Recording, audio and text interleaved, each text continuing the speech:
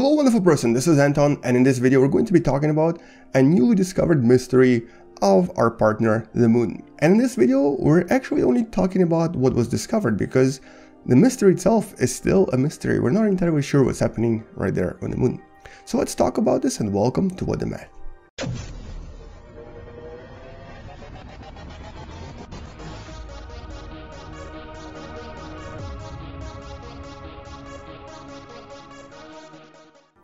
So um, very recently, I was actually finishing up a video that's going to be released very soon about the largest crater in the solar system as of today.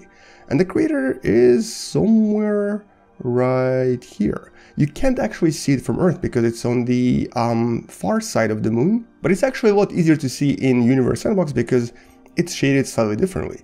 It's this huge, huge formation you see right here, roughly around 2000 kilometers or um, approximately 1400 miles across. If you're looking at it from Earth, which would be something like this, you can only really see a tip of it on the bottom right there. You can actually only see some of the mountains formed by the protrusion from the crater. And this huge crater is known as the South Pole Aitken Basin. And what this represents here is a depression within the moon. In other words, it's kind of like sudden drop in altitude. Now, interestingly, we've studied this crater for quite a long time, and NASA has uh, mapped it quite well, and even right now there is the famous Chinese mission known as Chang'e 4 that is exploring this area and is trying to figure out what's really happening right there on the surface. And somewhat recently, they have actually discovered that some of the rocks that are in this location are essentially coming from inside the mantle, suggesting that this large collision that created this crater very likely completely upturned the surface of the moon, causing some of the internal mantle to um, eventually settle on top where it was now found by the Chinese explorers.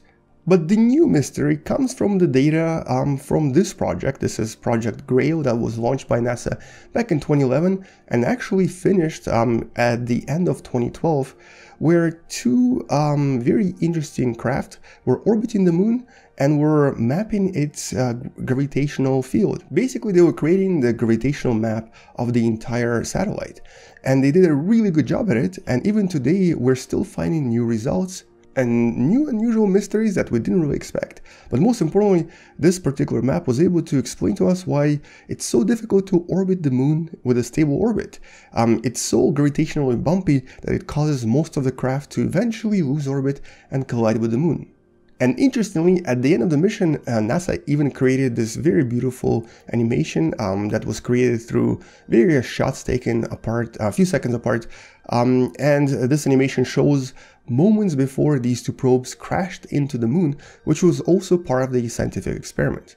But anyway, so the Grail mission is over, but its data is still being analyzed. And what this data discovered is that deep inside of this crater, there's an unusual gravitational anomaly, specifically a really dense, really thick object.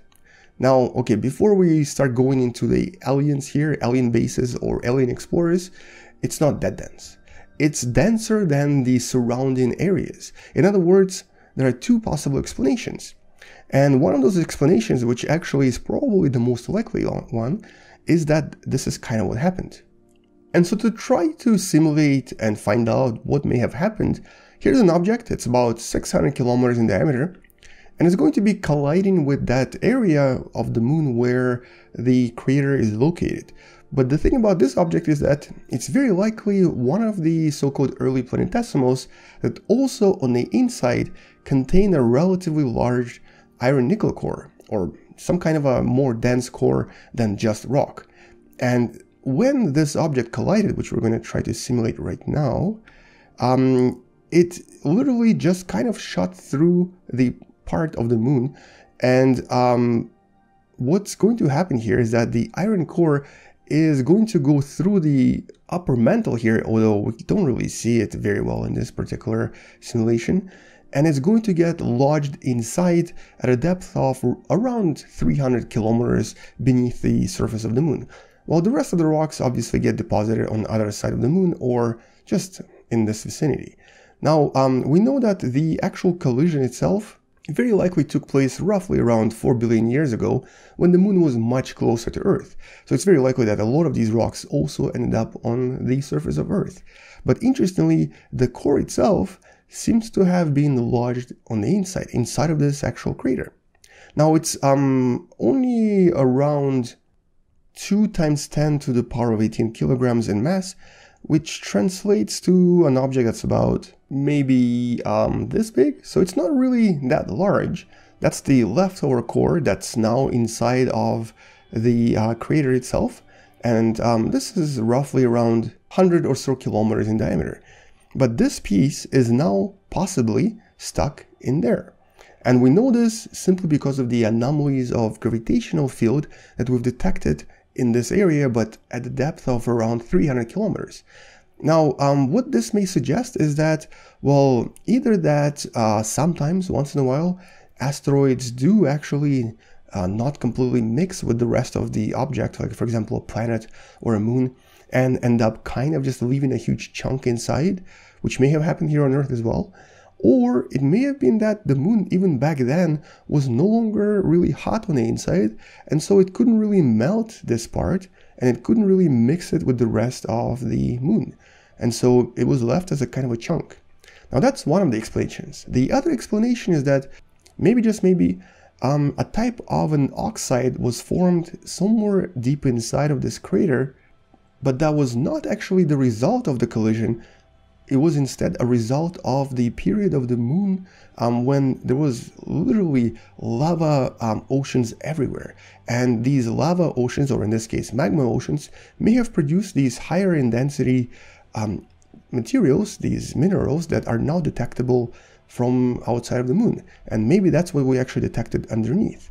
Now, uh, this has to be tested further, but for now, I think the best explanation is definitely that it's basically a chunk a, a core of an asteroid, a large asteroid that collided with the moon and left a piece of itself lodged inside of our satellite. Now, this creates a lot of questions, of course, but also creates an opportunity for us to maybe one day, hopefully, drill deep enough into the moon's um, surface to actually reach and study and maybe even mine this, whatever this is. For all we know, it could be some really cool metals that we don't have on Earth, or some cool metals that are very precious on Earth. So Moon actually might be now a potential target for mining. Although maybe that's not the best thing to do with the moon, but still, it's something that could maybe give it a bit of a more financial reason to go and settle. Even though this core is technically kinda tiny. Now further studies will definitely explore this idea even more. Um, unfortunately, unless we really drill something like 16 to 18 kilometers deep down, we're not going to be able to collect any samples, but um, we can uh, potentially analyze all of this using the data from the uh, GRAIL mission that I showed you previously. So future scans of the moon, along with future explorations of the moon, might help us discover what's really happening in this unusual, biggest crater in the solar system. This crater right here that I've just recreated using Universe Sandbox um, almost identical to the original crater in size. So anyway, on that note, uh, once we discover what's hiding beneath the surface of this crater, I'm going to come back and talk about it again, but for now that's all we know. It's a mystery, but it's a very interesting scientific mystery, not really a conspiracy. I'll see you guys tomorrow, come back tomorrow to learn something else. Subscribe if you still haven't, and maybe even share this video with someone who enjoys watching space videos and wants to learn more about sciences and space. And maybe even consider supporting this channel on Patreon because it does help me a lot. But anyway, thank you for everything. I'll see you tomorrow. Space out.